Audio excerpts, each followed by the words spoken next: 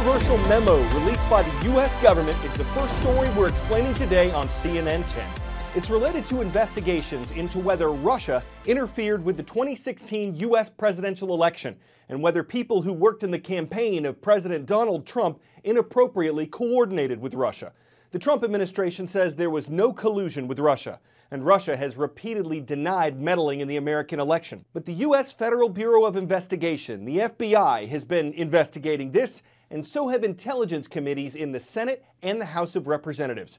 Republicans with the House committee produced a four page memo and released it on Friday after President Donald Trump declassified it. And politicians wrestled with it and each other throughout the weekend. There's a controversial law in the U.S. that allows the government to spy on American citizens.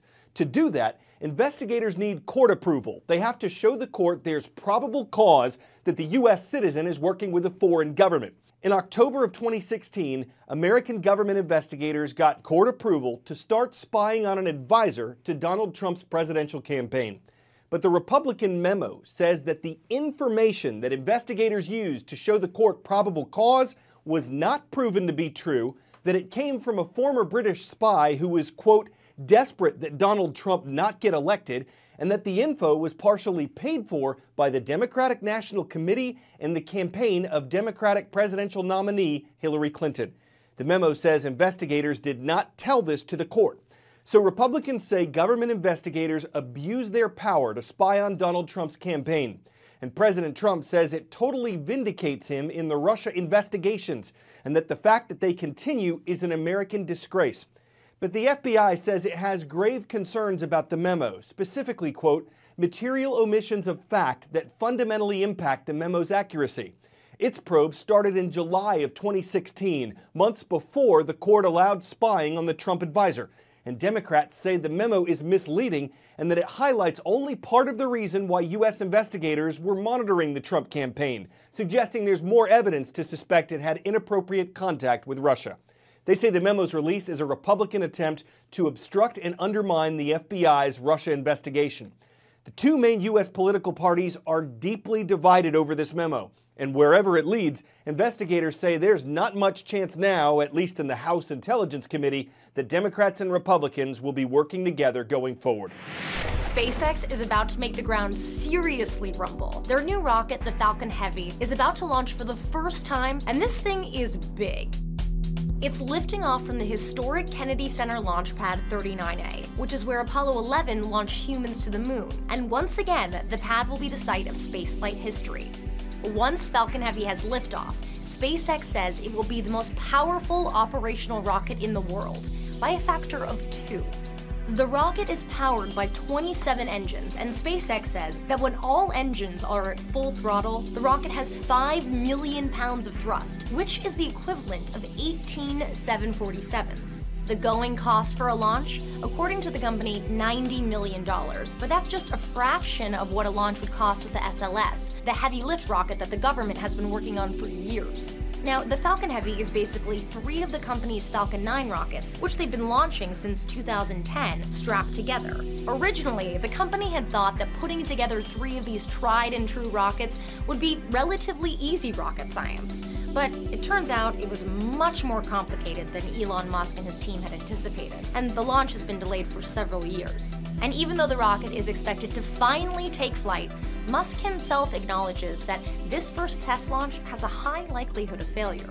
So, what do you launch in the rocket that everybody has been waiting years for and has a good shot of just blowing up? Well, if you're Musk, master of PR, you go big and you launch your own car. Yep, the rocket's payload will be Musk's own cherry red Tesla Roadster, and it will be playing David Bowie's Space Oddity on repeat. The intended destination? Mars orbit. That is, if it doesn't blow up on ascent. And while sending a Tesla to space might be a silly PR stunt, the launch is anything but. The rocket was designed from the start to ferry people to the moon and to Mars. A successful launch would put SpaceX a giant leap forward towards getting to deep space. Oh, and did I mention that SpaceX is hoping to land all three first stage boosters? Yep, that's also happening.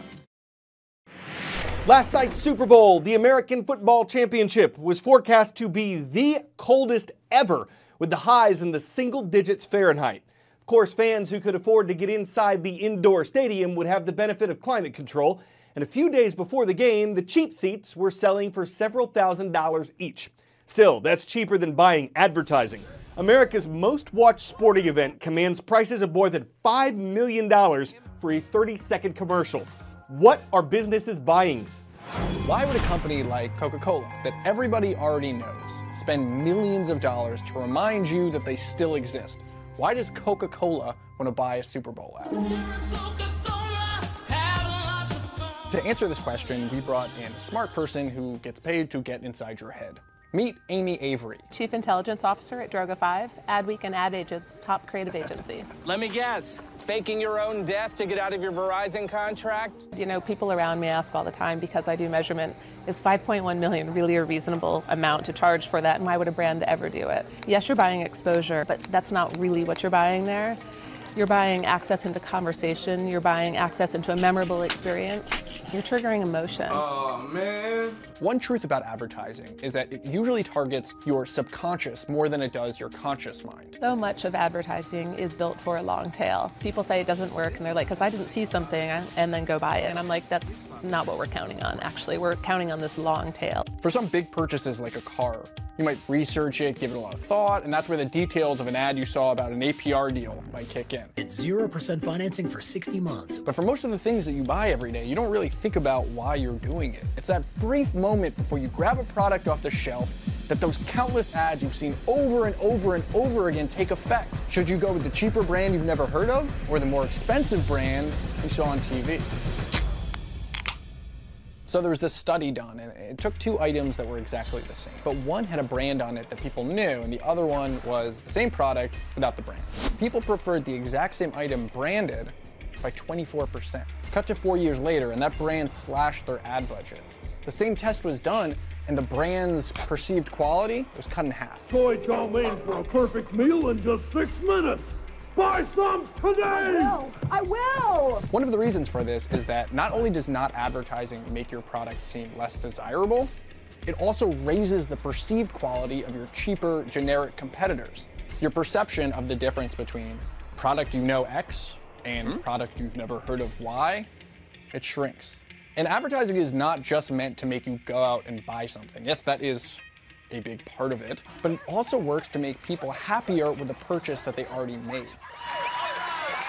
People in the ad world call this reinforcement. You want to know that the thing you bought is good, and seeing an ad makes you enjoy the product that you already have more. So without ads on TV to make you feel better about the purchase, you might think the item is worse. And when people talk about how it doesn't work, I'm like, mathematically it does. I mean, they wouldn't keep doing it. These companies are massive companies with a lot of investment behind making sure that it's working and tracking that it's not. There is 20 to 30% of your sales typically come from advertising. So yes, you're still going to have sales. Your company's not, Coca-Cola is not going out of business if they stop, but they're no longer counting on that percentage of sales. So if they have 100 sales, they're now going to have 80 sales. Let's go back to that Coca-Cola ad. There's family, there's friends, and not a lot of Coke.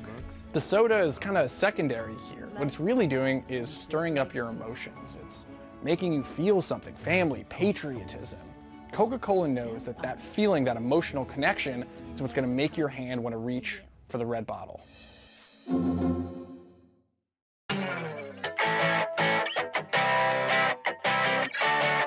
If you like zip lines, but you generally find them too boring, too slow, too short, or too cheap, this could be the antidote. It's a little under two miles long. You can zip along at almost 100 miles per hour. You can go side by side with a fellow thrill seeker, and you'd see amazing mountain vistas of the United Arab Emirates. Aboard the Guinness World Record for longest zip line, riders can whiz by for up to three minutes. The price, $177 which may cross the line for those inclined to save a dime when going flying. But if you find zip lines expensible, there are few thrills that are more suspenseful.